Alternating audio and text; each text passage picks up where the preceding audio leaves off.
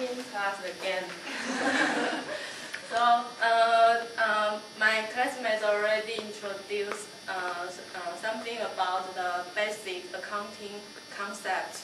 Now uh, I'm going to uh, bring you to the how how we how we depreciate the tangible assets.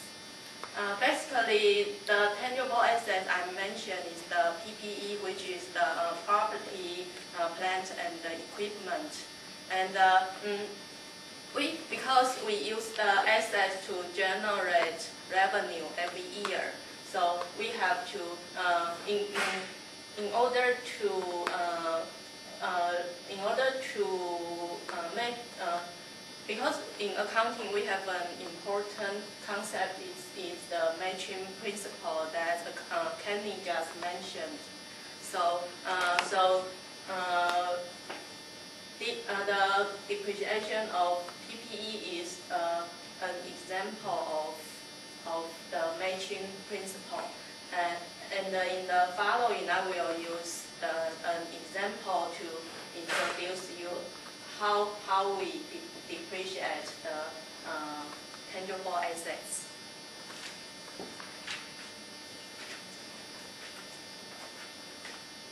Basically, uh, there are three methods we can use to uh, depreciate the PPE. The first one is the straight, straight line depreciation. The second one is the activity units of depreciation. And the third one is the declining balance depreciation. And uh, these three method, methods are commonly used in the real world. So I will talk to you how, how we depreciate the tangible assets in each year.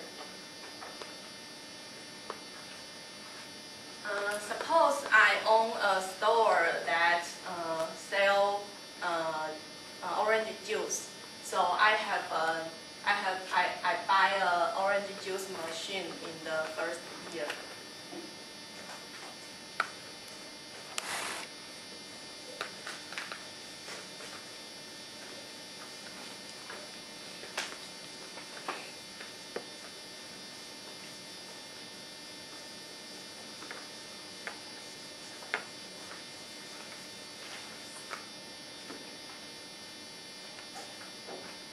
So uh, I buy this orange juice machine in, in year zero.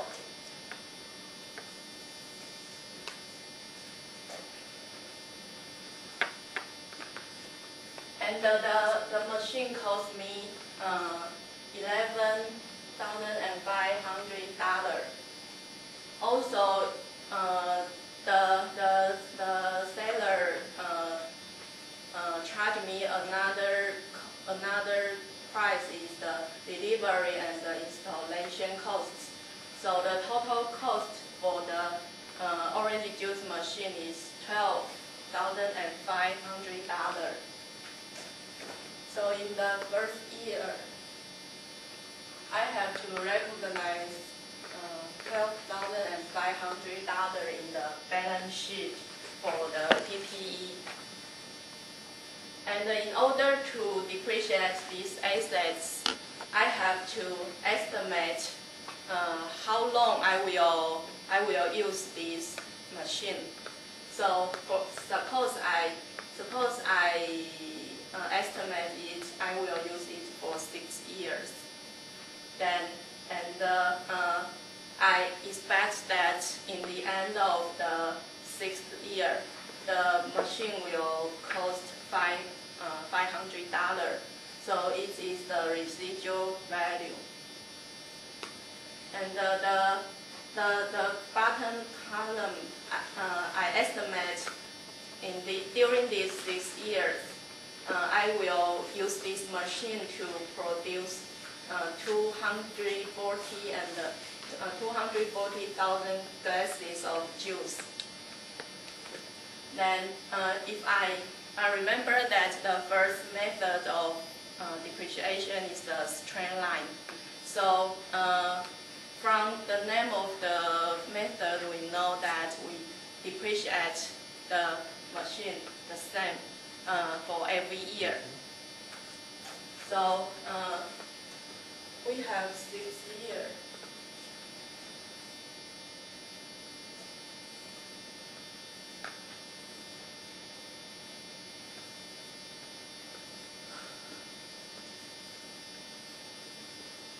So in the end of the first year, how do we calculate how much we should depreciate for this year?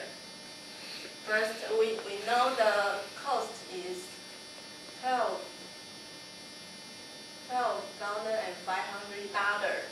We have to uh, uh, minus the $500 from here. This is our depreciation, depreciation basis that uh, we will uh, depreciate this amount over these six years. So because we have six years for the, so for every year we have we will uh, we will depreciate this amount. So it is two thousand dollar for the first year, and uh, in the following year we depreciate the same amount. So in the uh, final year, we, we will depreciate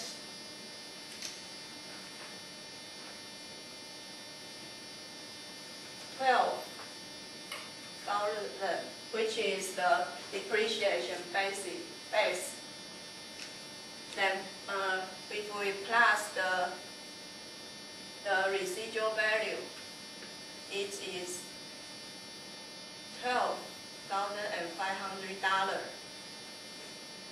It is the cost of my uh, juice machine.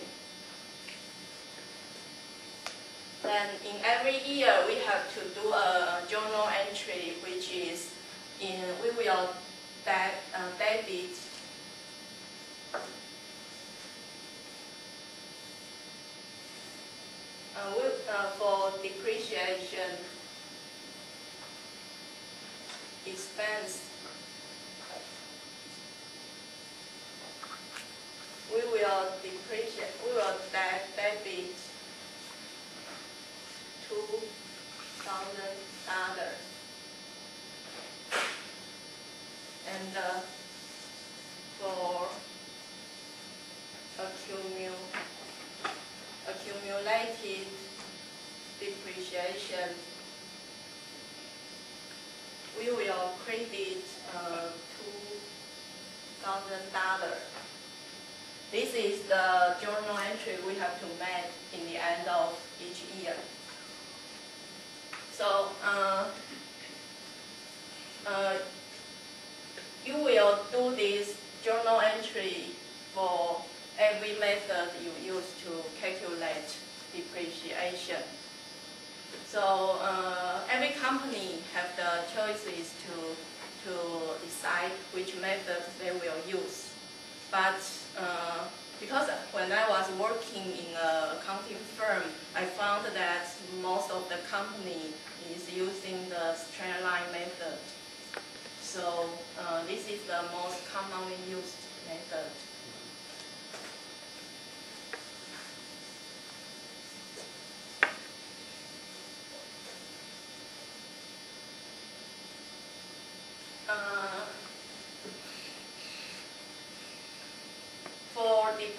for straight line de depreciation, we assume that uh, for every year, the revenue generated by this machine is the same.